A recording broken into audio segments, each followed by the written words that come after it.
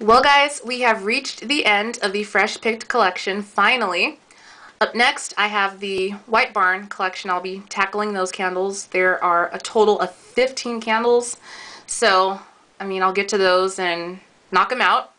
So overall, with the Fresh Picked collection, it's just kind of, like, my only gripe is that there's no newness, and it's just kind of lame and boring. The only scent that I thought would have been, you know, like brand spanking new would have been like blackberry spice. And I was actually brainwaving with a friend of mine on here, the bronze blogger, that's his name. And he basically said what I should have said in my last video. I was going to say it, but I kind of like wrapped it up and didn't say it. But we totally brainwaved and he said that blackberry spice is basically leaves with like heavy, cheap cloying blackberry notes added, like that artificial. And I totally get it. I went back to smell it again and I'm like, wow, that's so spot on. So that was a bust. And then you have the, you know, what do you call it? Harvest coffee, which isn't burning well at all. It's just total, totally not performing well. That one's not good. And then you have, you know, sweet cinnamon pumpkin. That's always great. Farm stand apple that's there and just a bunch of stuff that we've already seen, nothing new. So that's my only gripe, but you know, what's new with BBW? And I like rambled, so let's get on to the review with um, Lemon Mint Leaf. So this is a three wick burning in my room. Of course, it's a candle of the week. It's excellent. So this one says, freshly cut lemon balm and spearmint leaves give a refreshing lift to a blend of vetiver and citrus.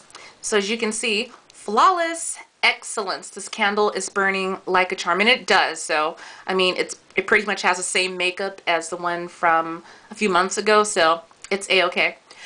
You're witnessing a third day burn. Of course, I burn these candles. And just so you know, and people that aren't aware of it and you're not really, you know, I burn these candles on the third day because, you know, BBW, they've been listening to the customers and the fans and actually working on the problem.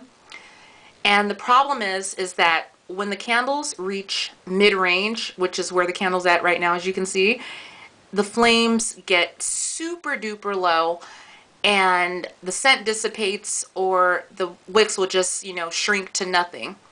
And it gives you just a bad performing candle. It ends up, it usually, you know, turns out to be a dud.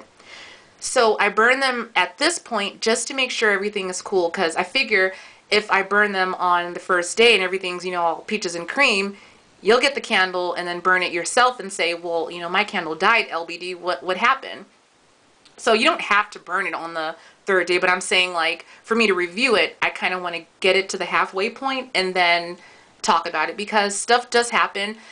Um, as you all know, the Fresh Picked collection from 2011, which is the pits, you know, you burn, you start, you light the candle and it just dies right then and there. So they've definitely corrected that problem, but a lot of us are facing the same problem of the mid-range crisis, I like to call it. So that's why you see a third day burn. That's why I do it when I do it, just to make sure that everything is cool and even for myself too, because, you know, I'm trying to work on buying a million candles. I kind of want to like limit myself to a few, maybe like if I love it to de to death, maybe like 10, but I want to make sure I don't want to be stuck with duds just because I like the scent. Like if it's a dud, I'll pass on it unless it's like blowing me away, but so that's why I do what I do. And let's talk about it. So this is a third day burn. The wicks are not thick, they're not thin, they're the medium sized straw colored wicks. I live by these wicks. Um, the wicks were in the other lemon mint leaf candle. So if you pretty, so if you have that one, then you really don't need this one because it's the same thing, like the same makeup, just a different label. If you're like a label person and you love, you know, pretty label, then grab it. But if you have a few from a few months ago, you definitely don't need this one. It's actually a waste of money. It's the same exact thing. Like same burn, same throw, same wick, same everything, same color, same thing. Alright, so again, I forgot where I left off. Okay, so third day burn, and talked about the wicks. Okay, so that's set. Now I lit the candle and then the wax melted and pulled out in about, let's say, 15 minutes or so. And then the throw kicked in like right then and there. So everything kind of fell together and kicked into gear for this candle. And let's give it about 25 to 20 minutes, 20 to 25 minutes top for the full effect.